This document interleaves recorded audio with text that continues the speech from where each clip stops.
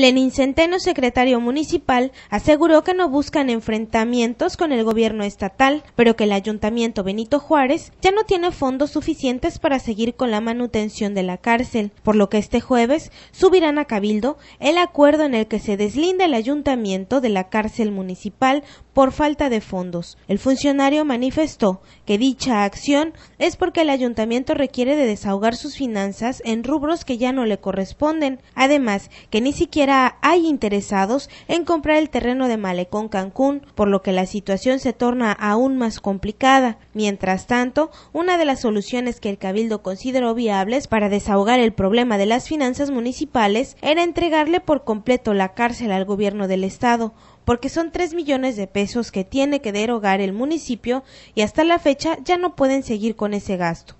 Aseguró que sostendrá una conversación con Salvador Rocha Vargas, secretario de Seguridad Pública del Gobierno del Estado, para concretar el asunto y dejar claro que no es decisión del presidente, sino del Cabildo el deslindarse de la cárcel, además que no se persigue una confrontación con el Gobierno del Estado, solamente que asuman su responsabilidad. Informó para Notivisión Wendy Sánchez.